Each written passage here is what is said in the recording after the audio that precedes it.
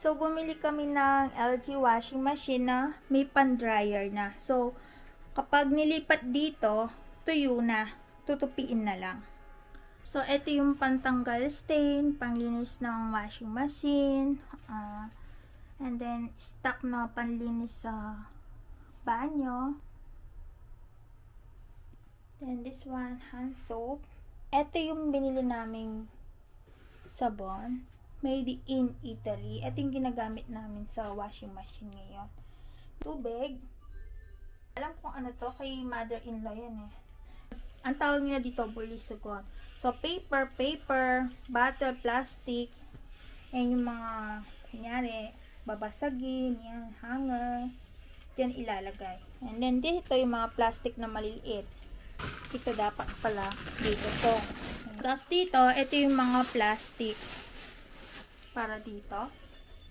Pagkain to, yung mga tira or napanis, dyan ilalagay. And then, after one week, itatapon.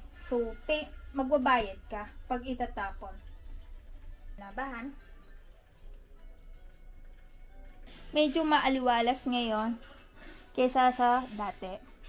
So, ito yung binili ko sa IKEA. Okay, two layer hanggang sa baba. So, walong ganito. 2, 3, 4, 5, 6, 7, 8. So, ganito.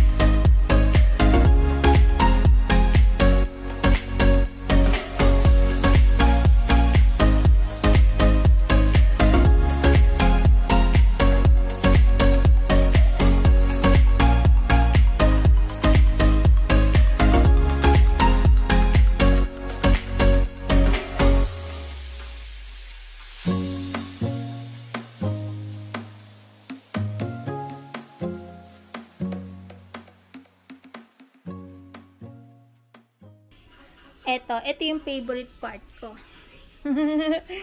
okay, mula sa baba. Hmm. Ayan.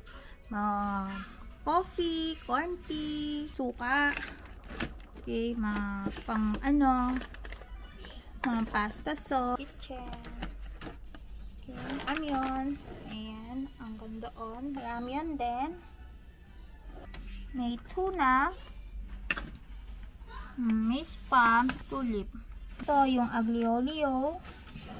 Um, dito, yung tea. Ayan. Bells. Yan. Nakatago and naka-arrange. Ito, na-arrange ko na rin. Dati magulo.